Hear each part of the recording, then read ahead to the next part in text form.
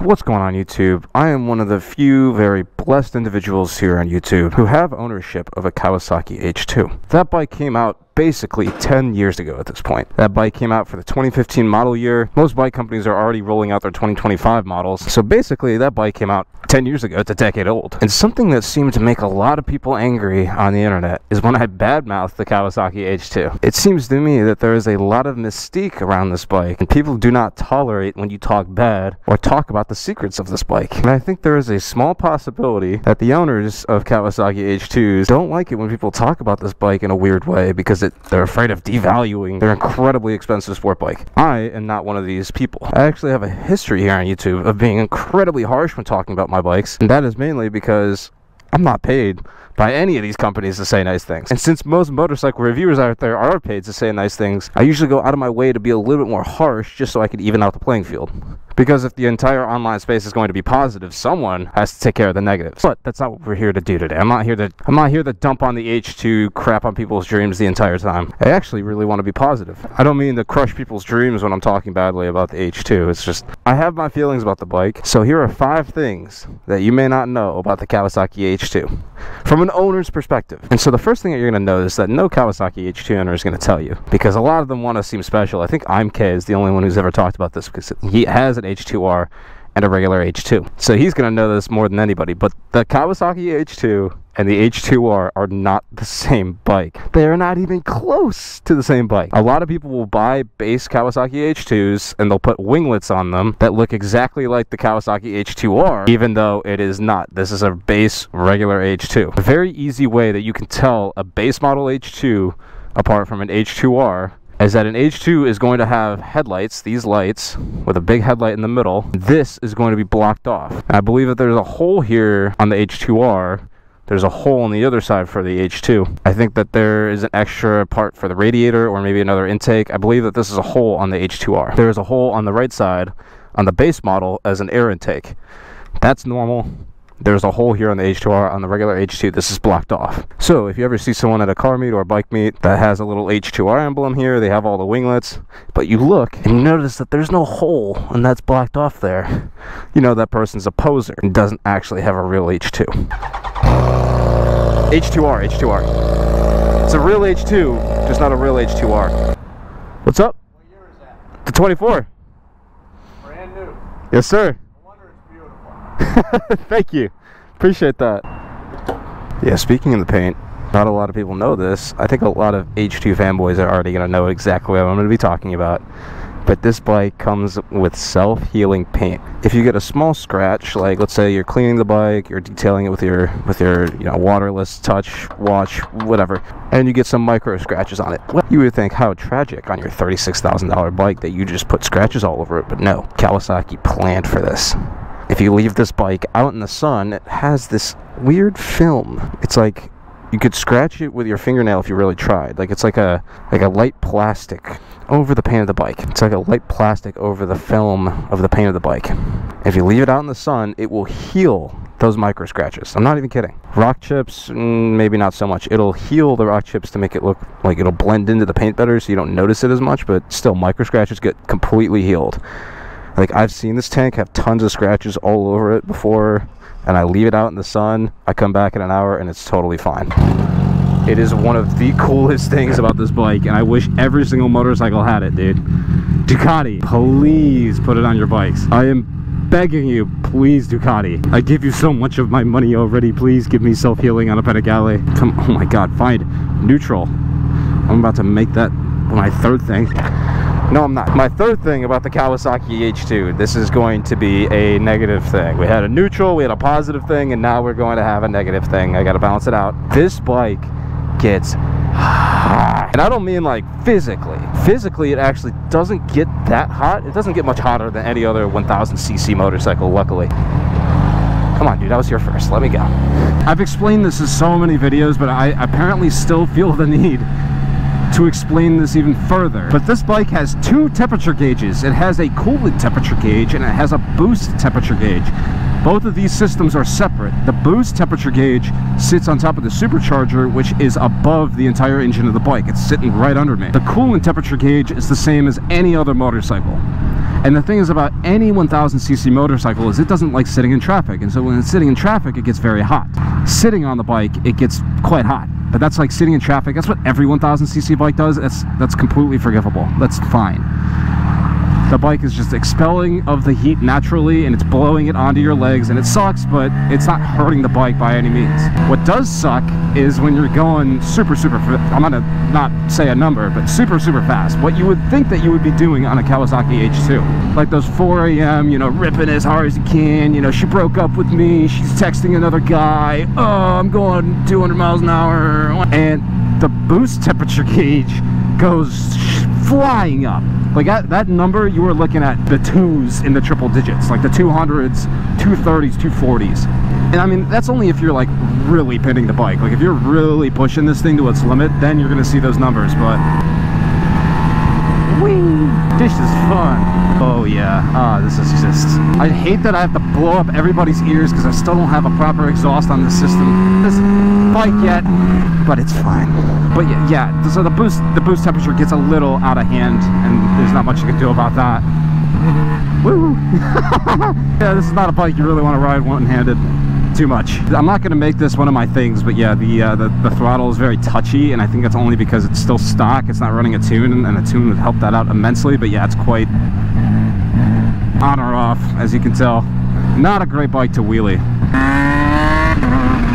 oh my god. The one remedy for the bike getting too hot is there is a modification called an intercooler that you can add to this bike. Now, a lot of H2 owners that tell me, oh, you don't need it. But here's the thing. If you're going to be running the bike as hard as someone who would buy an H2, like how much you would want to run it hard, those insane boost temperatures, you're going to be causing long-term damage to the bike. Doesn't matter which way you put it, but a bike having metal parts that are hitting 240 degrees Fahrenheit, that's not good for the longevity of the, of the metals. Now you can cry about it, but that's that's it's just facts. These, these are factual statements yeah, you can probably get away with running your H2 without an intercooler, having those insane hot temperatures. I'm sure people have done it. But I don't feel safe with that because I plan on keeping this bike for a long time. I would like to keep this bike for as long as possible and I would like it to run reliably.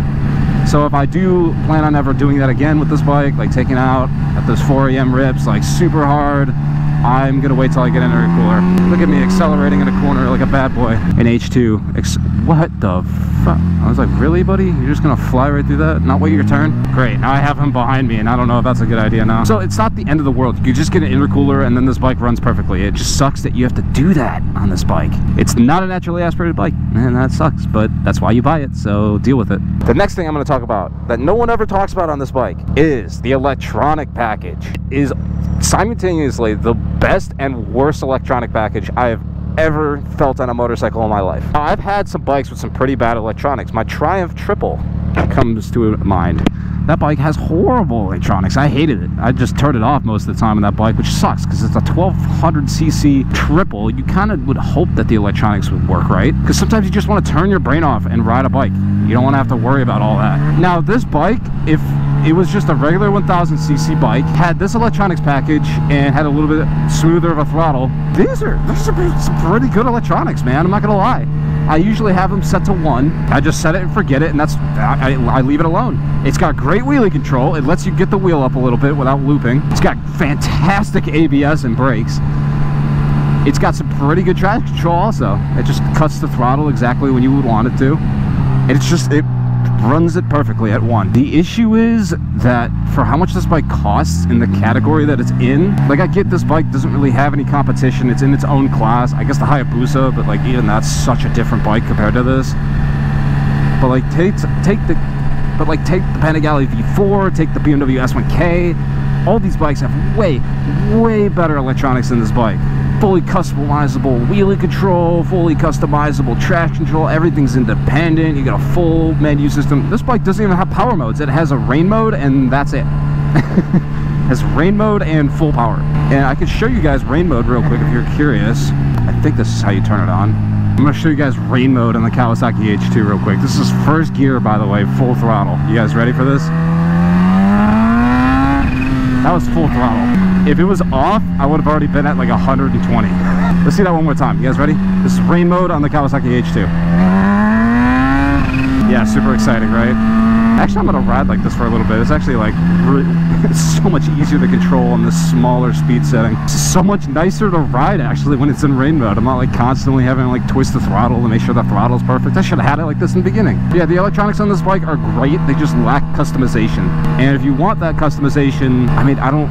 I guess cross shop to a cheaper Panigale V4. but like, I, I don't think most people are cross shopping this bike. Like, it's not that. That's not the deciding factor between a V4 and an H2. I guess maybe it is because a lot of like, I've seen like people ride H2s and V4s together and they kind of equate them. They're they're not even remotely. They shouldn't even be in the same class. Um, okay, don't fly off the road. And the last thing that you don't know about the Kawasaki H2, I didn't know this until literally I bought the bike. But this bike has a service interval that no other motorcycle has. And can you guess why? It's because of the supercharger. There is a turbine service on this bike. And from, according to the dealer I bought it from, it is $1,500 to have your turbine inspected or adjusted. That's insane. That is insane. Literally the same, if not more, cost more money to have your valves inspected on a motorcycle, which if you don't know, if you're still brand new to motorcycles, a lot of these higher end bikes require service intervals around 15 to 20,000 miles. And it requires like a full engine tear down, looks at the top end of the bike, I'm not going to get in the whole, you can look up more technical videos about it if you're curious, but usually you have to pay a pretty large service around that 15 to 20,000 miles.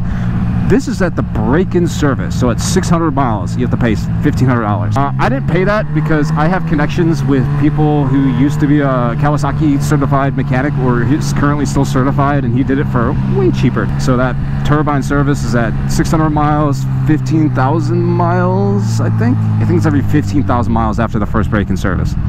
Now, didn't know that. Now, just imagine you didn't know that and you were getting yourself into an H2 and you didn't realize that you had to spend, well, well over $1,500. An extra $1,500 on top of whatever you thought you were going to spend every 15,000 miles. That sucks. What is that, like 10 cents every mile or something like that? I don't really know. Point is, you're spending a lot more money than what you thought you were originally spending. And it's also way more complex on this bike because look at all that supercharger mess that you have to get through in order to get to the valves. And don't forget about the tires that this thing rows through, the gas, the actually the insurance is quite cheap.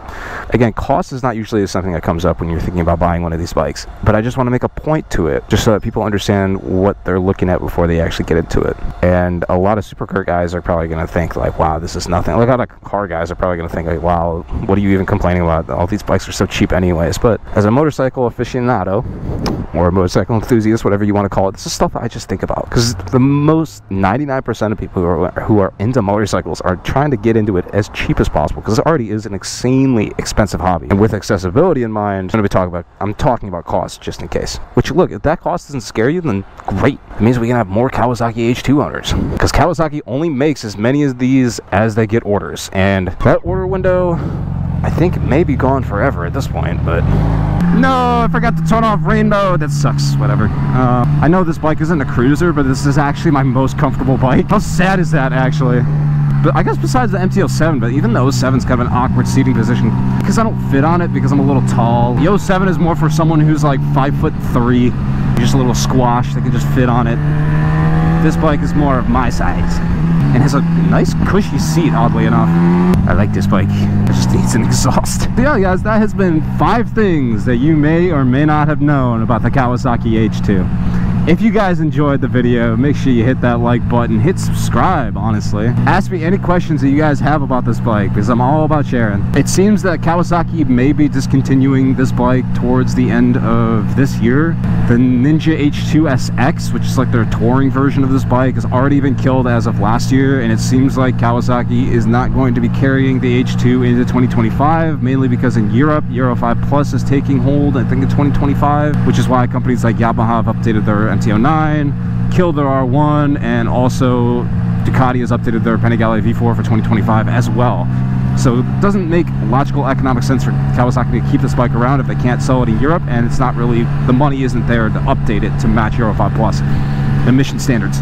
So this bike may be coming to an end and I'm very happy to have gotten one of the last ones. So if you guys want to see more videos with it, make sure to stick around. And with that being said, I hope I was entertaining and I will see you guys in the next one. Bye bye.